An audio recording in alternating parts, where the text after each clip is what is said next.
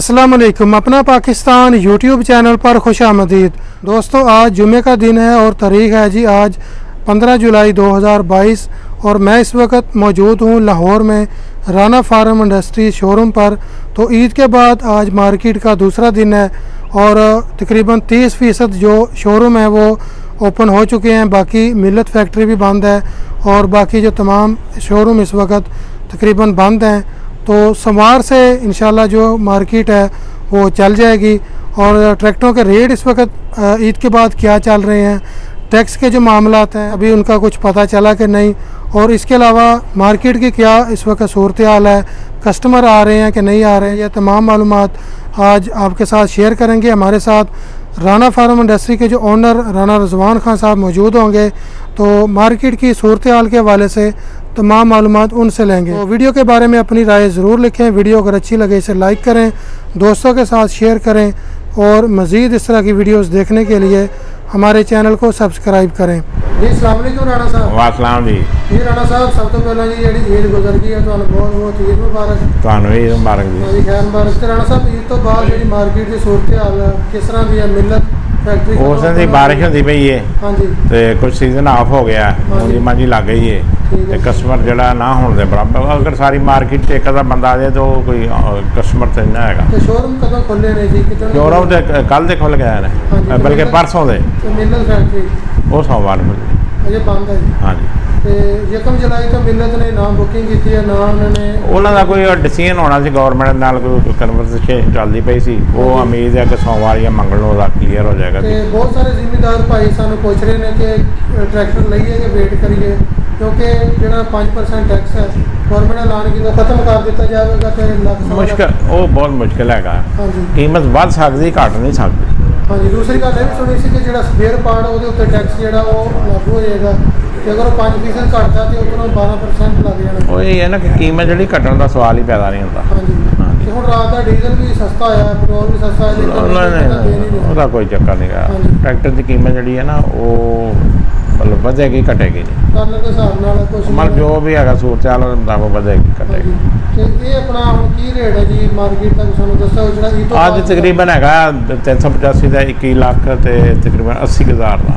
ਕੀ ਲੱਖ 80 ਹਜ਼ਾਰ ਕੋਈ ਕੋਈ 22 ਲੱਖ ਵੀ ਮੰਗ ਰਿਹਾ ਜੀ ਉਹ ਮਾਰਕੀਟ ਮੰਗਣ ਨੂੰ ਫਿਰ ਦੇਖਿਆ 21 ਲੱਖ ਅੱਸੀ ਐਵੇਂ ਉਹ ਮਤਲਬ ਨਾ ਲੋਕ ਸਾਰੇ ਮਾਰਕੀਟ ਵਾਲੇ ਪਰੇਸ਼ਾਨ ਨੇ ਮਹੀਨਾ ਹੋ ਗਿਆ ਵਿਹਲੇ ਬੈਠਿਆਂ ਤੇ ਦੂਸਰਾ ਜਿਹੜਾ ਆਪਣਾ ਦ- 260 ਹੈ। ਜੀ। ਉਹ ਕੀ ਕਿੰਨੇ ਦਾ ਰਿਹਾ ਉਹ ਵੀ 16 ਲੱਖ ਤਕ- ਤਕਰੀਬਨ ਉਹਦਾ ਕੰਪਨੀ ਦਾ ਰੇਟ ਹੈ।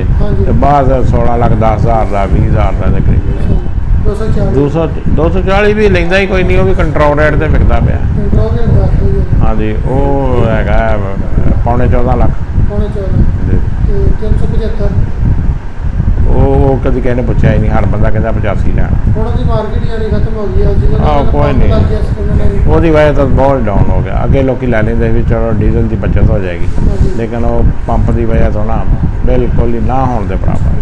ਤੇ ਰਾਣਾ ਸਾਹਿਬ ਇਹ ਦੱਸੋ ਕਿ ਹੁਣ ਜ਼ਿਮੀਦਾਰ ਟਰੈਕਟਰ ਲੈਣਗੇ ਸਬਰ ਕਰਨ? ਇਹਨੂੰ ਜ਼ਰੂਰਤ ਹੈ ਲੈ ਕੇ ਖੜਾ ਕਰ ਲੈ ਬਸ। ਜੋ ਚੀਜ਼ ਲੈ ਕੇ ਖੜਾ ਕਰ ਲੇਗਾ ਉਹਦਾ ਹੀ ਫਾਇਦਾ ਹੈਗਾ। ਇਹ ਨਹੀਂ ਹੈ ਕਿ ਟਰੈਕਟਰ ਸਸਤਾ ਹੋ ਜਾਏਗਾ ਨਹੀਂ ਨਹੀਂ ਨਹੀਂ ਜਿਹਨੇ ਨਹੀਂ ਲੈਣਾ ਉਹਨੇ ਪਛਤਾਣਾ ਨਹੀਂ ਖਰੀਦ ਕੇ ਪਛਤਾਓ। ਅਸੀਂ। ਅਸੀਂ ਵੇਚ ਕੇ ਪਛਤਾਉਂਦੇ ਹਾਂ ਉਹ ਖਰੀਦ ਕੇ ਪਛਤਾਉਂਦੇ ਹਾਂਜੀ ਨੂੰ ਮੰਗਲ ਤੱਕ ਸੋਮਵਾਰ ਮੰਗਲ ਤੱਕ ਉਮੀਦ ਹੈ ਕਿ ਜਿਹੜਾ ਕੋ ਮਾੜੀ ਮੋਟੀ ਹੈ ਉਹ ਕਲੀਅਰ ਹੋ ਜਾਏਗੀ ਤੇ ਰਾਣਾ ਸਾਹਿਬ ਇਹ ਵੀ ਮ- ਬੰਦੇ ਕਹਿ ਰਹੇ ਆ ਕਿ ਇਲੈਕਸ਼ਨ ਦੀ ਵਜ੍ਹਾ ਤੋਂ ਵੀ ਇਹ ਜੇ ਡਿਲੇ ਕੀਤਾ ਜਾ ਰਿਹਾ। ਜਿਹੜਾ ਜ਼ਮੀਨੀ ਇਲੈਕਸ਼ਨ ਹੋਣਾ ਹੈ ਤੇ ਗਵਰਨਮੈਂਟ ਇਹ ਵੀ ਸੋਚ ਰਹੀ ਹੈ ਕਿ ਚਲੋ ਬੁਰਾ ਅਸਰ ਜਾਏਗਾ ਟੈਕਸ ਵਧ ਜਾਏਗਾ ਕੀਮਤਾਂ ਵਧ ਜਾਣਗੀਆਂ। ਗਵਰਨਮੈਂਟ ਨੇ ਜ਼ਾਹਿਰ ਹੈ ਜੀ ਇਲੈਕਸ਼ਨ ਉੱਤੇ ਸਿਰ ਦੇ ਉੱਤੇ ਹੈ। ਜਿਸ ਤਰ੍ਹਾਂ ਡੀਜ਼ਲ ਦੀ ਕੀਮਤ ਘਟਾਈ ਹੈ। ਉਸ ਤਰ੍ਹਾਂ ਮੇ ਵੀ ਇਹਦੇ ਵਿੱਚ ਵੀ ਉਹਨਾਂ ਨੇ ਆਪਣੀ ਪੋਲਿਸੀ ਮੇਕਰ ਜਿਹੜੇ ਹੁੰਦੇ ਆ ਉਹ ਫਿਰ ਮਤਲਬ ਦੇਖਦੇ ਆ ਕਿ ਜ਼ਿਮੀਂਦਾਰਾਂ ਨੂੰ ਇਹ ਮਸ਼ਵਰਾ ਦਾਂਗੇ ਕਿ ਕਿਸੇ ਨੂੰ ਲੱਭਦਾ ਹੈ ਕਿ ਉਹ ਲੈ ਲਵੇ ਹੁਣੇ। ਕਿਉਂਕਿ ਫਿਰ ਵਧ ਸਕਦਾ ਤੇ ਕੋਈ ਪਤਾ ਨਹੀਂ। ਕੱਲ ਨੂੰ ਡੀਜ਼ਲ ਫਿਰ ਮਹਿੰਗਾ ਹੋ ਸਕਦਾ ਪੈਟਰੋਲ ਵੀ ਮਹਿੰਗਾ ਹੋ ਹਾਂ, ਸਕਦਾ। ਕੋਈ ਪਤਾ ਕੋਈ ਪਤਾ। ਤੇ ਬਾਕੀ ਇਹ ਕਿ ਆਪਣਾ ਟਰੈਕਟਰ ਵੀ ਜਿਹਨੇ ਲੈਣਾ ਹੈ। ਉਹ ਲੈ ਲੈਣਾ ਉਹ ਲੈ ਚਾਹੀਦਾ ਲਵੇ ਵੇਟ ਨਾ ਕਰੇ। ਹਾਂ, ਇੰਤਜ਼ਾਰ ਨਾ ਕਰੇ ਇਹ ਨਾ ਸੋਚੇ ਕਿ ਸਸਤਾ ਹੈਗਾ। ਨਹੀਂ ਹੁਣ ਲੈ ਲੈਣਾ ਚਾਹੀਦਾ। ਸਸਤਾ ਨਹੀਂ ਹੈਗਾ ਮਹਿੰਗਾ ਹੀ ਚਾਹੀਦਾ। ਤੇ ਬਾਕੀ ਹੁਣ ਕਿਸ ਤਰ੍ਹਾਂ ਦੀ ਸੂਰਤ ਹਾਲ ਕਸਟਮਰ ਆ ਰਹੇ ਕੀ ਕਰ ਰਹੇ ਤੁਹਾਨੂੰ ਦੱਸਿਆ ਨਾ ਕਿ ਕੋਈ ਕਸਟਮਰ ਨਹੀਂ ਸਾਡੇ ਸੀਜ਼ਨ ਹੀ ਪੰਜਾਬ 'ਚ ਆਫ ਹੋ ਗਿਆ। ਸੀਜ਼ਨ ਖਤਮ ਹੋ ਗਿਆ। ਹਾਂਜੀ। ਰਾਣਾ ਸਾਹਿਬ ਆਪਣਾ ਨੰਬਰ ਦੱਸ ਦਿਓ 0300 ਰੋਡ ਨਜ਼ਦ ਮਿਲਟ ਅਸਲਾਮ ਅਲੈਕਮ ਜੀ।